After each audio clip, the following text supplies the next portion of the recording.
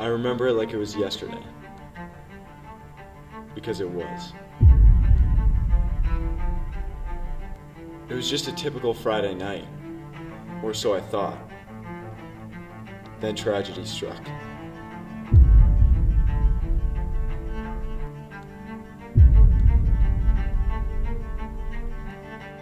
Detective Murphy, best of the best.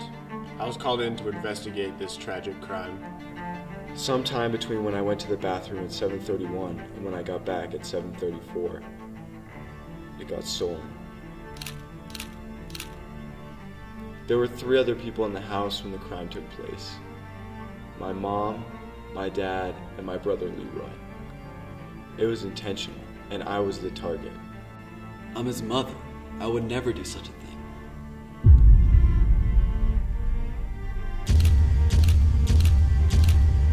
I was just so hungry. Honestly, I feel bad for him. He had an emotional connection to that sandwich. They had to have been mocking me. No one, and I mean no one, could have ignored the sign I put on that box. What we're dealing with is a sick criminal.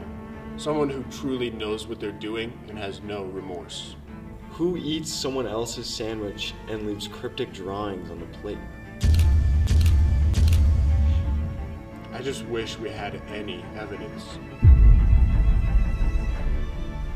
I know you did it. You will always take Mom. my food. She's clearly guilty. Danny, you definitely ate your own sandwich and forgot.